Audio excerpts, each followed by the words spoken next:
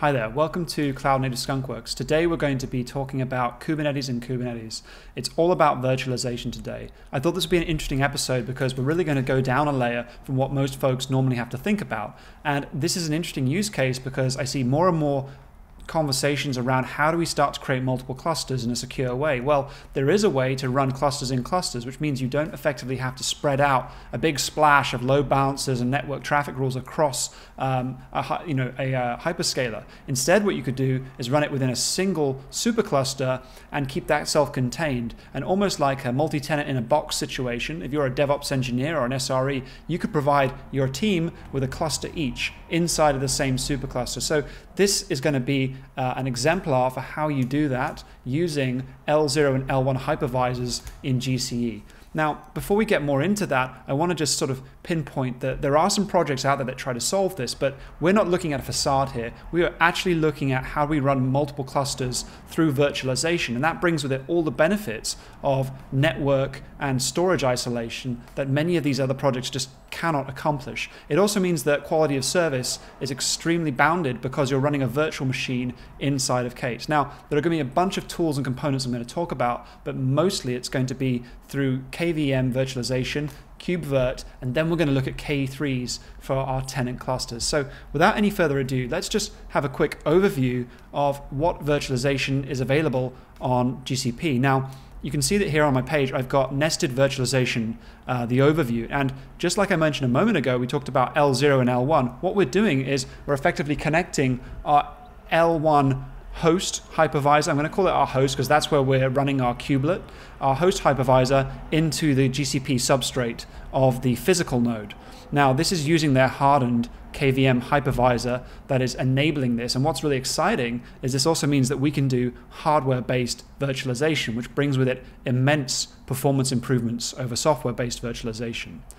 It also mentions further down the docs that you want to be using uh, an architecture that is Haswell or above. Now, just to give some context, the Haswell architecture is the um, the spiritual successor of the Ivy Bridge architecture, and with that brings a large set of improvements in the overall performance and capabilities. And so we're going to be needing to use some slight customizations on GCE so that we can set up a special type of VM that suits us to run not only kubeadm, Docker, KubeVirt, KVM, but everything else that we need uh, to successfully host a multi-tenant platform. And I'll put more of that in the second video, but we're also going to be looking a lot around the networking side of things as well and creating NICs within KubeVirt and exposing those back out to our VPC. So without further ado, I've created a guide on Cloud Native Skunkworks multi-tenant in a box. And the idea here is that you can follow this set of instructions and it will take you through everything you need uh, to get through to where I am today. So I'm going to follow my own guide, but I'm going to give some narrative around this and what we're doing and why we're doing it. So first things first, you can see here that I'm creating an Ubuntu machine, but I'm customizing the uh, CPU architecture to be Haswell based or above. We also need to think about having potentially four CPUs, ideally eight, and memory allocation of at least 12 gigs of RAM. We're going to be running tenant clusters inside here, so this is going to be the bounding box for whatever we can run inside. So I've created that right now. So let's go through the rest of the guide and figure out what we got to do. So the first thing is that I've created an installer script. This installer uh, will go through and enable us to actually be able to set up things like uh, IP table rules. It will go off and grab the binaries that are required for kubectl, kubeadmin, etc. So let's copy this over. So first things first, uh, I'm going to grab my shell script. You can see it says we've got an error. That usually is just because the machine's booting up and you're trying to do an SCP before the machine started. Um, I can also see in the docs here I've got a backtick and I'll get rid of those two backticks later on. It's a work in progress. Okay, so what we do is we copy the, the install script over and now we're going to run that install script. So this installer is something, as I said, it gives you all the prereqs for running kubeadm. It also sets up KVM locally on your host machine. There are a few options that are important, uh, one of which is to enable QEMU KVM uh, with AppArmor, and I'll show you how to do that. It's, it's here in the, in the hack section because there are a few nuances that might trip folks up if you've not done this before. So as you can see there, the QEMU KVM service uh, is being linked And that is super important because later on we're going to run some validation steps from KubeVirt. And from here, we can keep going. So again, I'm just going to keep going with that install. I need to go back and update that uh, shell script slightly because I've only um, written it this morning and there are a few little tweaks that will help you out. But overall, it's installing the things we need. And we'll go through the validation steps in just a moment. So at this point in time, we have our L1 hypervisor on our host instance being created and provisioned. The idea is that it's also going to start up kubeadm, and from kubeadm, we're going to run a single master node that expands across the entire uh, resource profile of this node, and we can run our tenant clusters inside of it. I like to think that at this point in time, while we're provisioning, it's a good chance to think about some more of the use cases for this particular project. Now, I mentioned if you're a DevOps engineer an SRE trying to give your team a couple of clusters, that's sure as one. But another is that you can start to perform chaos testing and high volume load testing in a constrained environment where you don't have different network subnets. You can even introduce um, network interrupts as well. Things like disk interrupts are also easy to emulate if you control the underlying storage classes. And we'll talk a lot more around the day two exercises of this later on in the second video. So we've got everything installed. I did see one error around adding my user to KubeVirt, but I'm not super worried about that in this point in time. So you can see here I've got the next step as actually running the kubeadm installer. Now, if you've not worked with kubeadm before, kubeadm is a fantastic project just because it is a very quick way to get up and running with Kubernetes. I recommend to check it out, and that's just in the Kubernetes IO docs um, as a, an officially endorsed uh, methodology for starting Kubernetes. So I've used the same thing. And what we can do in the next videos is we can extend kubeadm with its configuration profiles so that we can actually set a, uh, a subnet for our cluster beyond the uh, default that I put here. And we can start to play around with how we want to segment our tenant clusters. At this point in time, we'll see as well that kubeadm is doing a bunch of stuff. And it's important to remember the relationship with kubeadm and the kubelet, and that they both are effectively domains that live on the host node. So let me just open that up. So you can see that the kubelet is running off of this node. I think that sometimes folks get a little bit confused with what is Docker and what is the kubelet. Well, the kubelet is running as a systemd process. So we go system control uh, status kubelet. We can see that our kubelet is running and it's orchestrating our containers with Docker. So we go get pods, all namespaces. We should probably do something else before we do this, and that is to copy the, the kube config locally. So let me just go ahead and follow my own guide. So here we make the kube folder in our home directory. We copy over the config from the admin path. Now if I try and do a kube control get pods, we've got nothing in the default namespace. Great. So we've got basic Kubernetes running. The next few steps are fairly specific to what we want to do. So we're installing Flannel as our CNI, and we're installing local path by Rancher as our CSI. And these are purely for convenience at this point in time. We'll come back here and consider those options later on, especially when we consider using a difference uh, between the host CNI and the tenant cluster CNI. So there we go. We've now got um, those additional configurations set up. So if I go back to get pods, we should see our local path provisioner is up and running and our flannel pod is up and running. So now what I'm going to do is I'm going to install KubeVirt. So KubeVirt already had the virtctl installed as part of the installation process, but now I'm installing the operator, the CRDs. And here at this point in time, I'm going to enable the feature gate for hot plug volumes. This is important, and I'm not going to go into hot plug volumes in a great level of detail, but this is what allows us to attach PVCs. And this is really interesting and especially useful because if we're running a tenant K3S cluster in Ubuntu, I don't want to have to have a massive root disk on this pod that has all my tenant cluster data in, inside of it. I want to be able to provision PVCs on the host. For example, if we think about our hypervisor here. That's effectively our, our, um, our node. And we have Docker and Kubernetes extending over this way a little bit. A PVC, what, it, what actually is that? Well, the PVC is going to be a host path that gets mounted, right? So it's far more effective to use hot plugging to plug in that PVC, which allows me to scale it up or scale it down, than to statically allocate uh, a chunk of the host path. Especially if I want to start to use another provider for PVCs. I might even want to pull in some external um, SAN or NFS uh, on the host and use that as a guest PVC. So there's a lot more to be said about that, and we'll cover that a bit later on. But for all intents and purposes, right now, we've got our hot plug volumes feature enabled. So let's go back to our guide. Now, at this point in time where we apply the feature gate, we want to run this little hack that I, I had to find. So this is just because there are some variances between the Debian and the Ubuntu install, but we're going to symlink uh, QEMU KVM. And then once we've done that, we are going to jump into uh, the AppArmor folder. And from the AppArmor folder, and this is something I found in a really good KubeVirt issue where somebody else has done a lot of the work.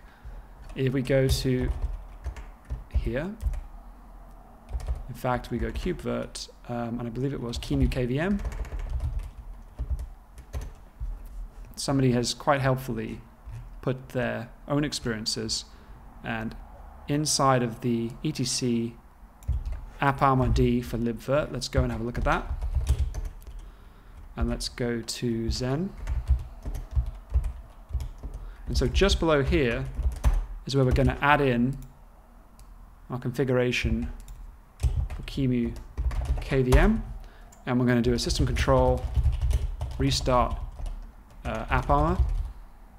And this is crucial because without this being restarted, uh, we'll see uh, an issue in the ability to run KubeVirt. So let's have a quick look. I might have spot something wrong.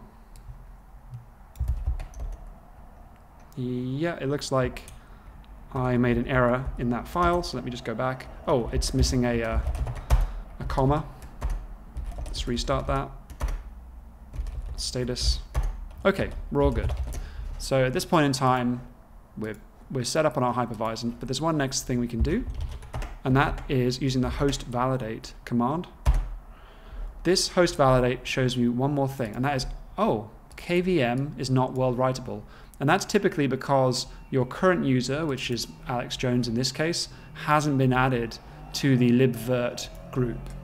And actually you can see that um, in my next step I do talk a little bit more about the AppArmor, but I need to put a link in there. But as for this issue right here, you can see I've already done this before and I managed to get this to pass. So let's just have a quick look at, um, if we go group add libvirt, okay, that exists. Um, okay, oops, it's new group.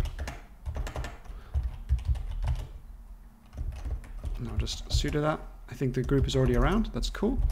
So what I want to do is, yeah, and we've done a sudo add user to KVM.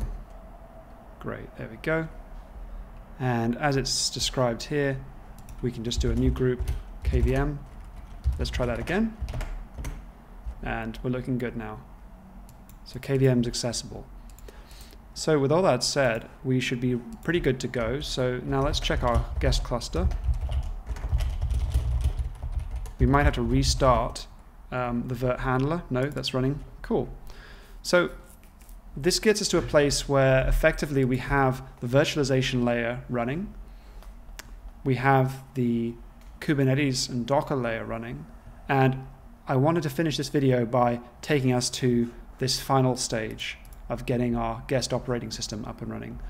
So let's take a look at how to get this guest operating system up and running by first of all looking at what the custom resource uh, for KubeVirt defines. And you'll see earlier on I defined this virt launcher.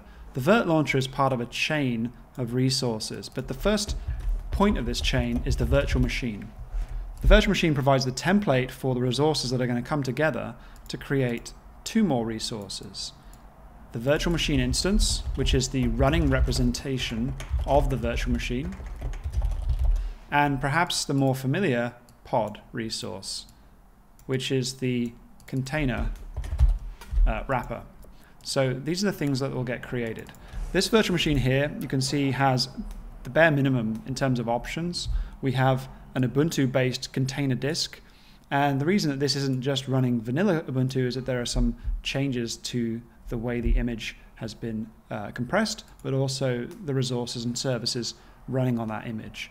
You could also provide anything you want, really. You could provide a container disk with your own operating system or any other spin that you see necessary.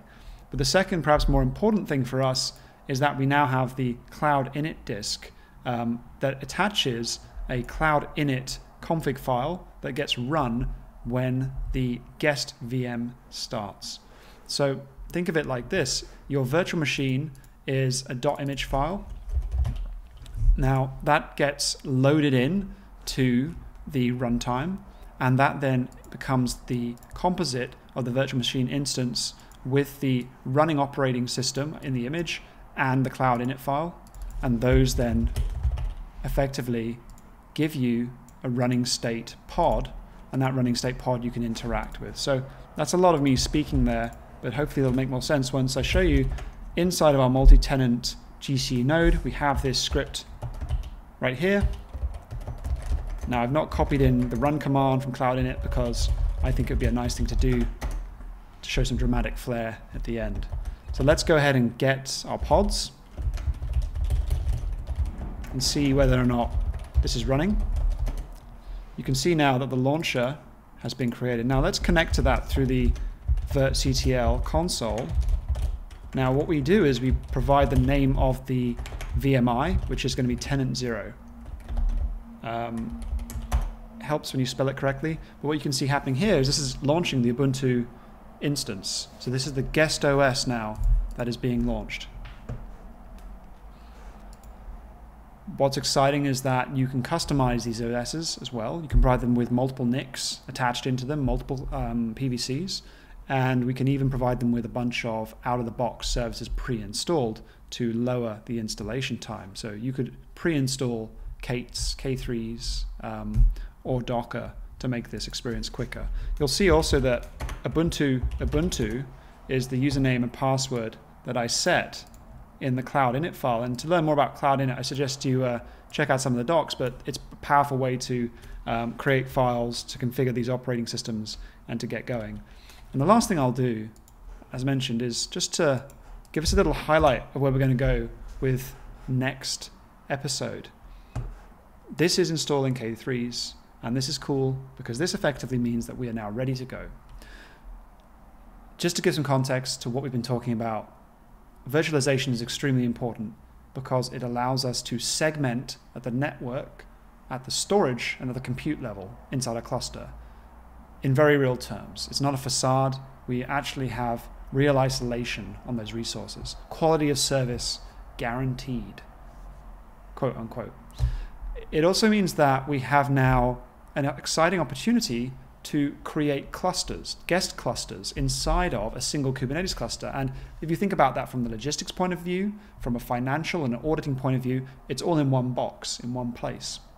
If you want, you could scale up the amount of host uh, GCE clusters, uh, nodes, and to have more reliability, more availability. But fundamentally, running Kubernetes in Kubernetes is now an enabler because we could deploy this out on a single node, a big node to a bunch of people in a team, or we could scale it out and start creating a service fabric platform within a platform so that the CNI and the underlying CSI we define, right? We're not relying on EKS, we're not relying on uh, GKE, we're actually effectively creating a tenant based architecture within our organization. And that might sound a little far fetched for a lot of folks who are just end users of K8s and the workload API. But when you need to start taking that a bit further, for example, in the next video, we're going to look at container network interfaces and how to run multiple interfaces, or even if you are looking at how to do complex storage solutions, being able to facilitate your own Kubernetes tenant clusters is a very important paradigm. So thank you very much for listening. I know that this might have been a lot to take in. There are a lot of concepts that I only brushed over, but I'm happy if you want to comment, if you want to chat to me um, to go through these. Please do read the code. Uh, it's all up there on the Cloud Skunkworks multi-tenant in a box repository. Next episode, we're going to be looking at how do we do CNIs, CSIs, how do we actually customize the K3s config. We need to provide it a valid IP. We need to start thinking about how do we do the day two operations and to actually get connectivity from the real world. So thank you so much. Please do like and subscribe, and I'll look forward to seeing you next time. Goodbye.